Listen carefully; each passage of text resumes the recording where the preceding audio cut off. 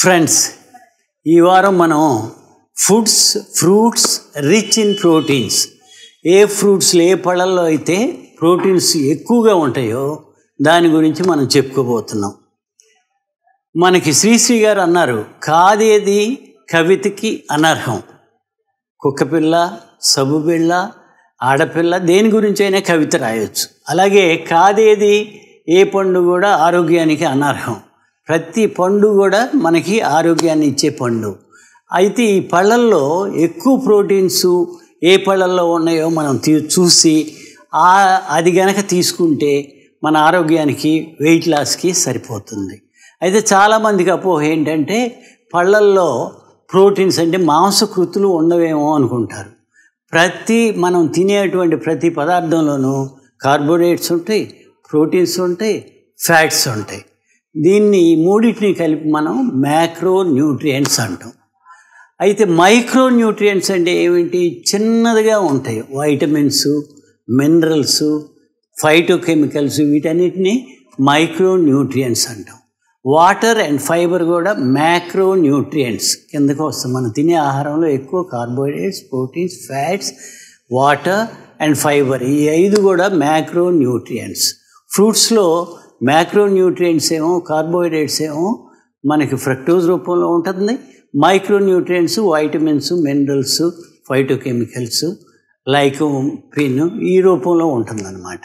So మనం కనుక ఒక్కో ఫ్రూట్ తీసుకుని అసలు ప్రోటీన్ ఎంత అవసరం బాడీకి అంటే ఈచ్ కిలోగ్రామ్ ఆఫ్ వెయిట్ మనం for example seventy gram seventy KG weight ఉన్నాం అనుకోండి seventy grams of protein minimum అవసరం అవుతుంది up to one and half per KG body one and half grams per KG body. అంటే seventy KG weight ఉన్న మనిషికి minimum seventy to hundred grams of protein అవసరం ఉంటుంది. ఏ రూపంలో అయినా తీసుకోండి.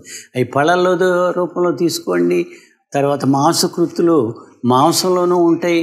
తర్వాత మనకి ఈ గ్రెయిన్స్లో ఫుడ్ గ్రెయిన్స్ రైస్లోను తర్వాత మిల్లెట్స్లోను అన్నిట్లోనూ కోడిగుడ్లో మ్యాక్సిమం ప్రోటీన్ ఉంటుంది ఫిష్లో ఉంటుంది అవన్నీ non vegetarian fish mutton chicken వీటన్నిటిలో కూడా ప్రోటీన్ ఉంటూనే ఉంటుంది.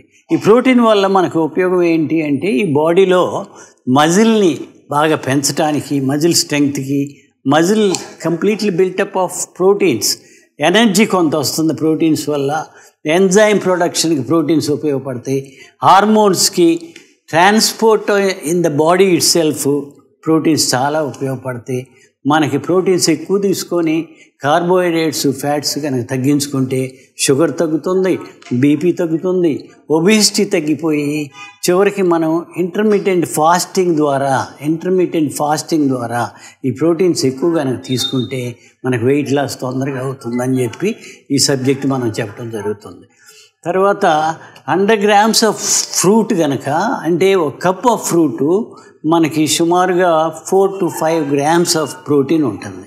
ఆ ఏది మ్యాక్సిమం ఉండే ఫ్రూట్స్లో మ్యాక్సిమం ప్రోటీన్ ఉండే ఫ్రూట్స్ వరుసగా మనం ఐదు గ్రాముల నుంచి నాలుగు గ్రాముల నుంచి మూడు గ్రాములు రెండు గ్రాముల వరకు వరుసగా దిగువకి ఎగువ నుంచి దిగువకి చెప్పుకుంటూ వచ్చాం.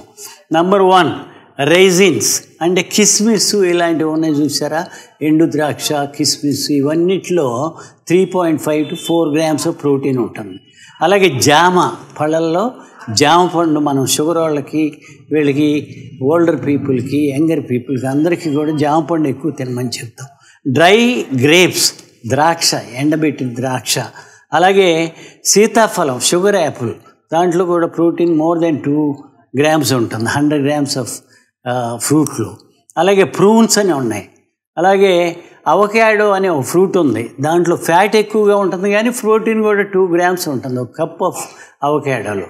దానిమ్మ పామెగ్రినేట్లో చాలా proteins more than two grams of protein ఉంటుంది మనకి. అలాగే పనస jack ఫ్రూట్లో one point seven grams of protein per hundred grams. Berries బెర్రీస్లో green blackberry blueberry బోల్డ్ రకాల బెర్రీస్ ఉన్నాయి. నేరేడుకాయలు లాంటివి అనమాట రకరకాలై orange బత్తాయిలో one point three grams of protein ఉంటుంది.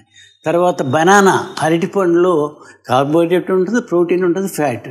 Protein one point one grams ఉంటుంది. అట్లాగే కాంక్వాట్ మనం ఊటికాయలు అని చెప్పి మనకి ఎక్కువ దొరకవు ఇక్కడ. కొన్ని చోట్ల సిటీస్లో అక్కడ దొరుకుతాయి కాంక్వాట్. తర్వాత చెరీస్ చెరీస్ మనకు దొరుకుతాయి. కివి తర్వాత యాప్రికాట్ యాప్రికాట్ అంటే అక్రూట్ అంటాం మనం. దాంట్లో కూడా minimum one point five to two grams of protein ఉంటుంది.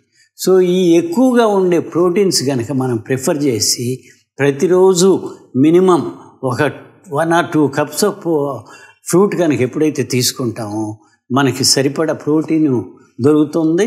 ఇదిగాక మనం తినే ఫుడ్ గ్రెయిన్స్లోను నాన్ వెజ్లోను ఎగ్లోను వీటన్నిటిలోనూ ప్రోటీన్ ఉంటుంది కాబట్టి ఫిష్లో చక్కటి ప్రోటీను తర్వాత ఫ్యాట్ కూడా ఉంటుంది. ఫిష్లో మనకు దొరికే ప్రోటీన్ అండ్ ఫ్యాట్ మంచిది కాబట్టి మ్యాక్సిమం మనం నాన్ వెజ్ తీసుకుంటే ఫిష్ ప్రిఫర్ చేయాలి. ఫ్రూట్స్ ప్రతిరోజు మనం తీసుకోవాలి. ఎందుకంటే ప్రోటీనే కాకుండా మనకు వైటమిన్స్ మినరల్స్ ఇవన్నీ కూడా ఫ్రూట్స్లో దొరుకుతాయి కాబట్టి. Thank you. Thank you very much. Hi friends ఇలాంటి మరెన్నో ఆసక్తికరమైన వీడియోలను అందరికన్నా ముందు చూడాలనుకుంటున్నారా? క్వశ్చన్ అండ్ ఆన్సర్ సెక్షన్లో మీ ప్రశ్నలకు లేదు మీ సందేహాలకు సమాధానాలు కావాలనుకుంటున్నారా? మా ఎక్స్క్లూజివ్ మెంబర్స్ వీడియోస్ని చూడాలనుకుంటున్నారా? అయితే ఈరోజే మా ఛానల్లో మెంబర్షిప్ తీసుకోండి.